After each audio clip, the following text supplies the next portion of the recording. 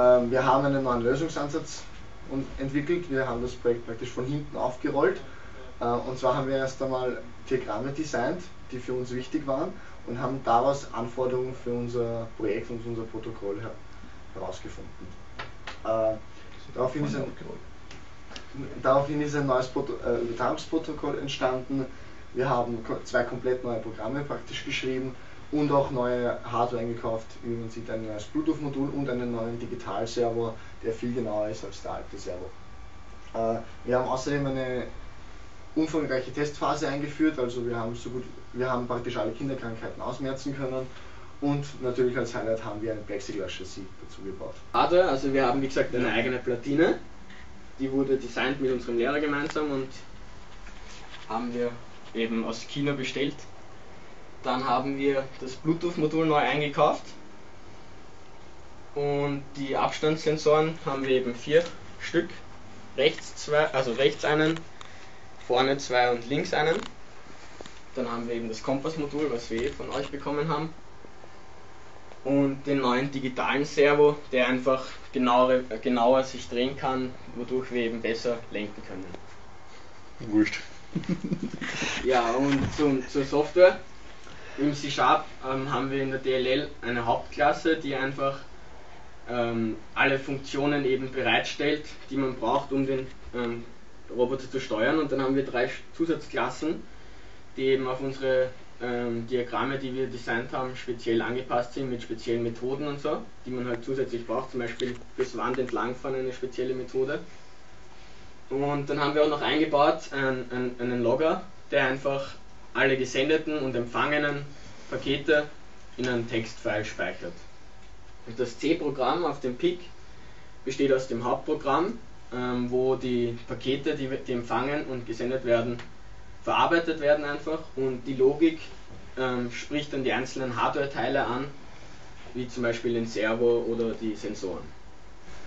Äh, das zweite Sorgenkind waren von uns die Infrarotsensoren, da wir nicht gewusst haben, äh, wie stark sie streuen. Du hast ja nämlich Infrarotsensoren. Sie schicken einen Infrarotimpuls heraus, es prallt einen Gegenstand ab und durch Triangulation wird halt die Entfernung ausgerechnet. Das Problem war, wenn man sie in einer Reihe zum Beispiel schaltet, stören sie sich gegenseitig. Und da hatten wir vor allem Angst, wenn wir vorne die zwei anbringen, dass die Signale einfach sich gegenseitig stören. Aber durch dass sie in einem leichten Winkel voneinander wegschauen, stören sie sich nie. Und ein weiterer Faktor ist die Performance. Äh, die Verarbeitungswege beim Roboter sind extremst lang. Man kann praktisch, äh, bevor ein Sensor-Input kommt, dauert es circa 2 bis 3 Sekunden, bis er wirklich mhm. von der State oder mit der State Machine. Mit der State Machine dauert es halt 2 bis 3 Sekunden, bis der Sensor wirklich erkannt, dass das schon passiert ist. Das andere rechts, ja. Bleib so stehen, Christian. In welche Richtung vor da? Nach hinten. So. Wo ist hinten? Da nach hinten rechts. Zu mir. Okay.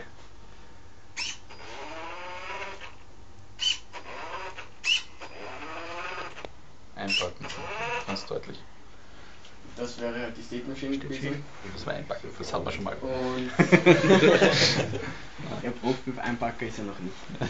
Na, aber zumindest, also was immer wichtig ist, man braucht am Anfang einen Initialize State und am Ende ein Dispose State. Im Initialize State wird halt, werden halt ähm, Verbindungen aufgebaut und die einzelnen, der Comport und alles gesetzt und im Dispose wird halt die Verbindung wieder getrennt. Ja, dann haben wir noch einen mit Hinderniserkennung. Da können wir zum Beispiel die Kiste nehmen. Da ist eben das Problem, was wir gesagt haben, mit der leichten Verzögerung.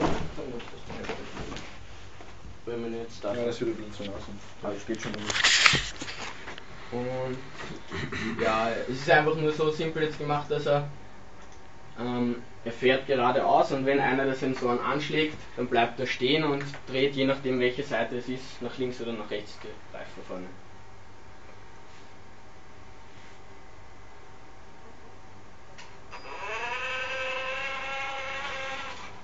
Wie gesagt, das ist eben jetzt relativ starke Verzögerung, weil er hat eigentlich, sollte eigentlich schon da vorne den, das Hindernis erkannt haben, aber braucht relativ lang, bis er wirklich stehen bleibt.